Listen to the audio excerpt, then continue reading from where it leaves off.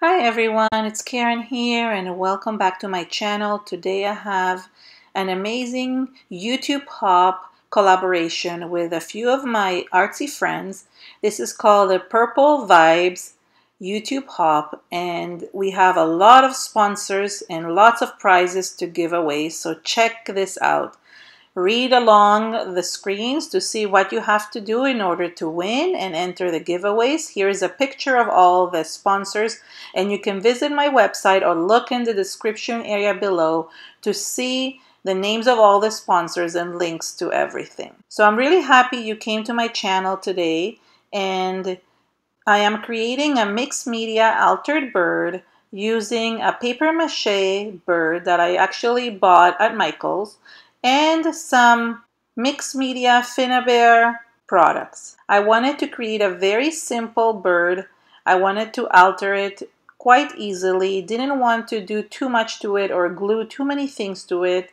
I've made a horse before and I can link that below to show you how many metals I've added to that. But for this bird, I just wanted to create a very highly textured bird and not add anything but mediums. The first thing I did is take some Prima Finnabair Art Basics heavy white gesso and gave the bird a coat of white gesso. This was just to prime it and to just make an even coat all around.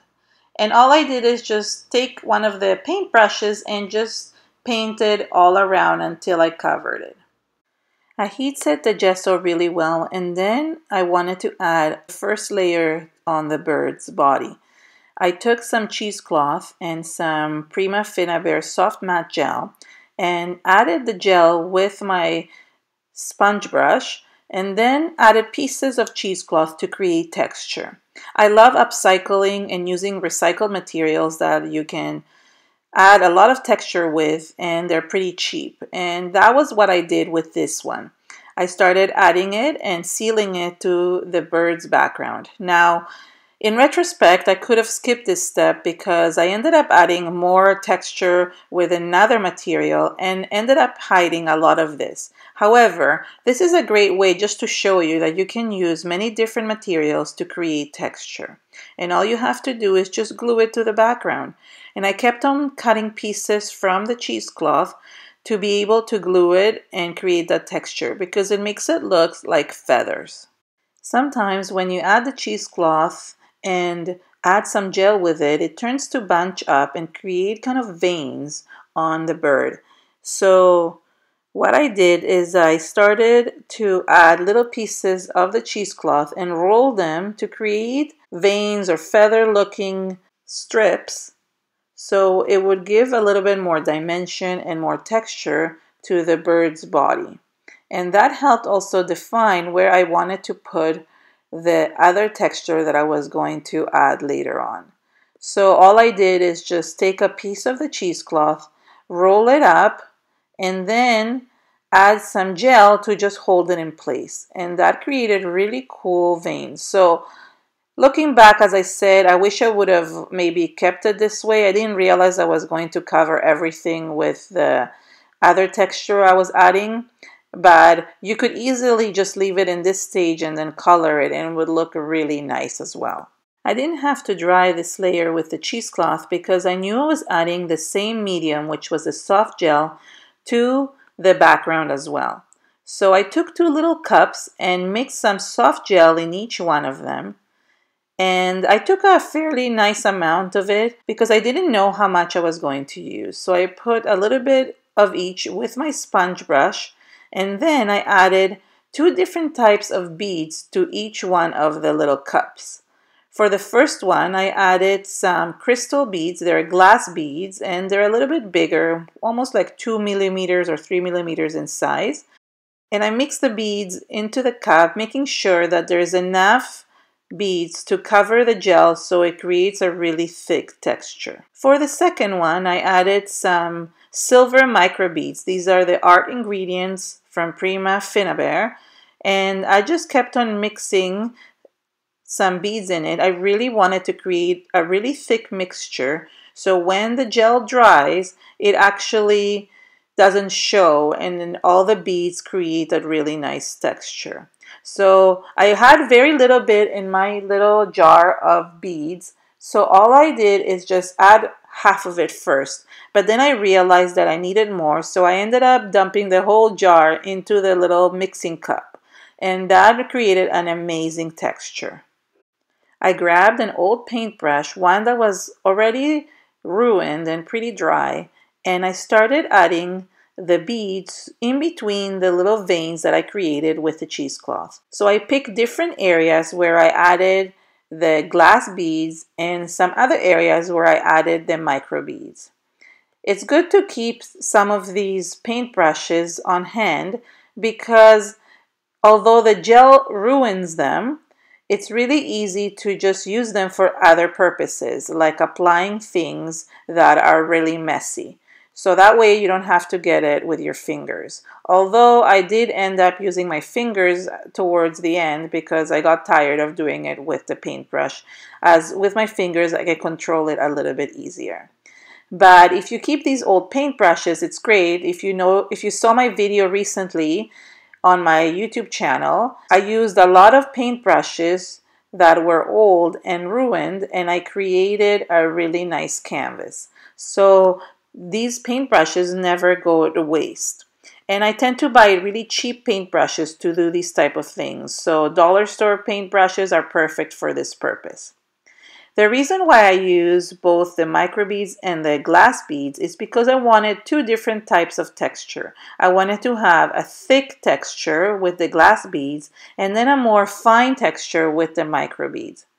And see here, I am starting to add it with my finger because I'm getting tired of the paintbrush. And it's really easy to just pat it down and smooth it out with my finger. So although this is not the ideal situation, I really love using my fingers to add things onto my projects. It, I find it really easy and helpful. And if you don't want to get your fingers dirty like I am and very sticky, you can definitely use gloves, and although it's a little bit harder to control the mediums, it is better sometimes than the paintbrushes. When you're making a mixture like this, you really never know how much you're going to have. And you're not going to know how much you're making. It's really hard to kind of gauge it. So I did have a lot or had enough that I could add even at the bottom of the bird and I felt like I didn't want to waste any part of it, so I kept on adding and creating more and more texture. I did avoid the face as much as I could.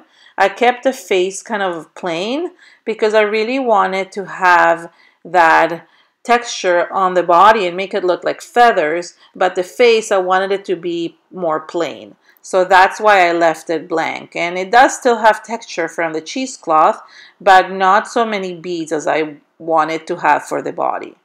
So I just end up finishing the beads as much as I can and putting them in all the empty spaces. And this is what I meant by covering the cheesecloth.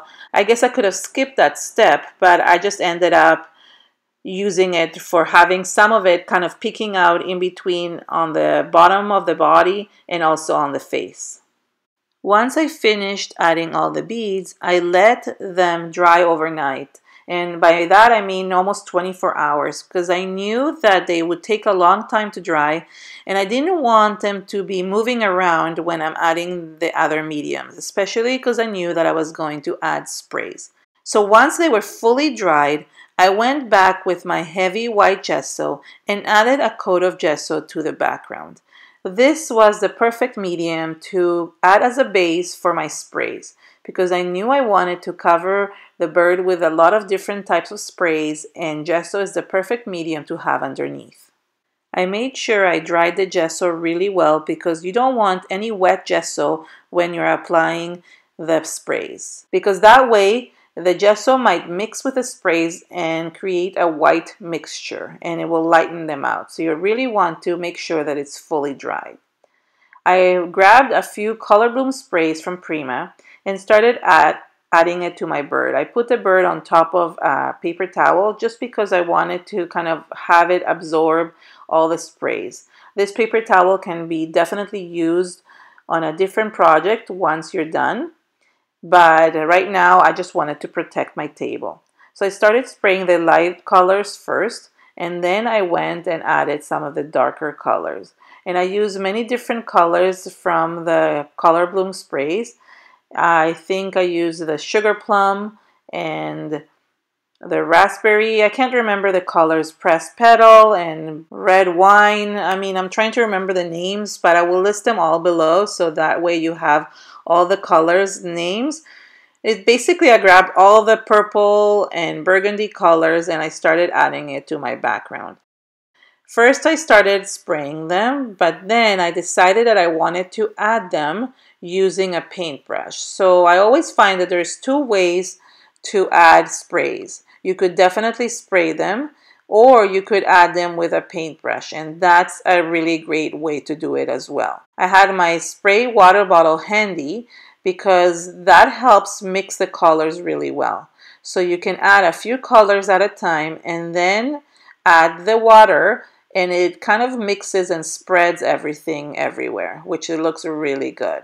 And that way you don't see the spray marks.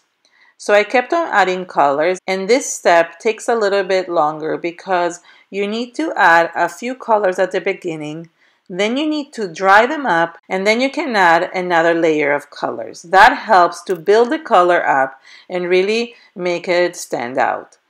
And I like mixing the dark colors with the light colors. I like mixing the dark purples with the burgundy looking purples. And that really helps to kind of create a unique color to the background. The reason why I chose all these purples is because this hop is specifically called Purple Vibes and the main thing of the hop was to use purple colors.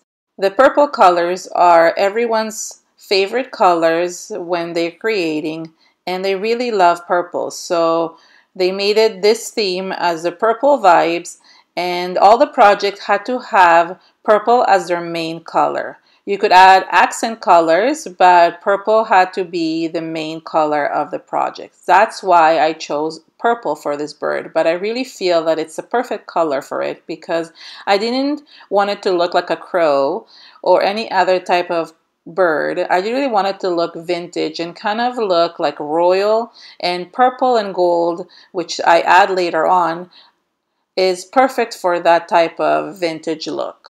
At this point, I heat set the bird because I wanted to make sure that it's dry for the next layer. And I also wanted to add a little bit of gold to the background because I felt it needed a little bit of that shininess in some areas. So I started adding some gold spray. This is actually mica gold mixed in water and I created my own spray with it. It's the Art Ingredients Prima Mica Gold.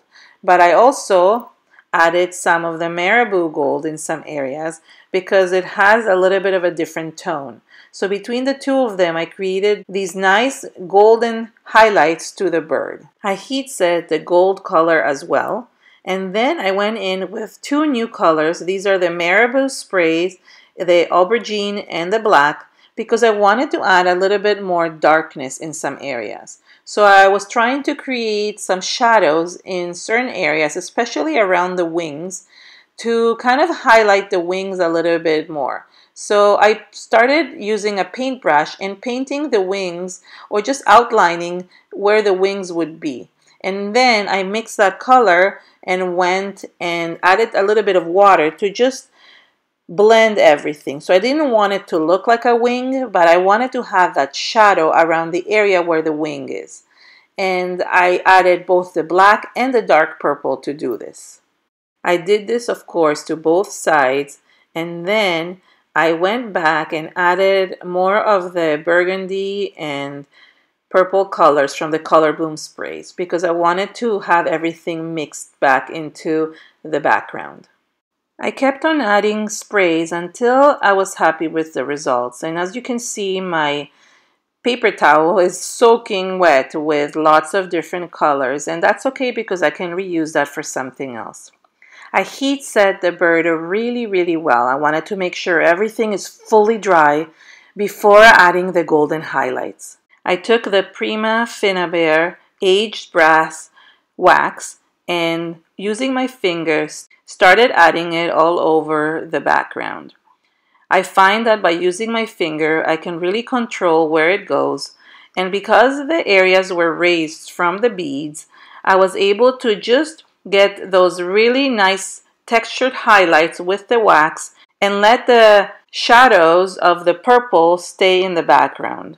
So it was really easy to just add the wax and then have those really nice purple highlights underneath the wax. The wax really helps to create those beautiful golden highlights and makes it look vintage. The wax is permanent and that's why you really don't need to seal it after. It almost adds like a sealant to everything else. It really has a dual purpose because it adds really beautiful highlights but it also seals your project. I really wanted to add a small piece of jewelry to the bird so I went and found a nice piece of jewelry, an old one that I had in my stash and it was just a cute bracelet that I found and I just ended up wrapping it around the neck of the bird. The last thing I did is I wanted to create a little crown for my bird. So I took a piece of paper and drew a small crown onto my paper and then cut it out. Then I took the Marabu Golden Sprays and just sprayed my paper to add that golden color to the background. That created the perfect crown for the little bird. The only mistake I made was not spraying it on both sides because when I actually closed the crown, you could see the white inside it. So I ended up spraying it while it was on the bird's head afterwards because I didn't want to see that white. I used some 3D matte gel to glue the crown onto the bird's head and that added a little bit of that vintage feel to the project. Finally, I wanted to add a couple of pearls to the bird to make them look like eyes, but I did not have any golden pearls. So what I did is I took two white pearls and using the wax, I highlighted on top of them and cover them with the wax. That helped create two golden little pearls for the eyes and I glued them to each side of the face. Here's the bird and I'm showing it to you from all angles because I wasn't sure if the pictures would show how cute it looks. It really is hard to show sometimes in a picture and show all that texture and so I really thought it was important to show you all angles and really highlight everything. So I hope you enjoyed the video and if you liked it, please give it a thumbs up and share it with your friends on social media. And you continue on with the hop. Make sure you watch all the videos and subscribe to all the channels and comment on each because we're going to pick winners for some of these videos. Thank you so much and have an amazing day. Bye!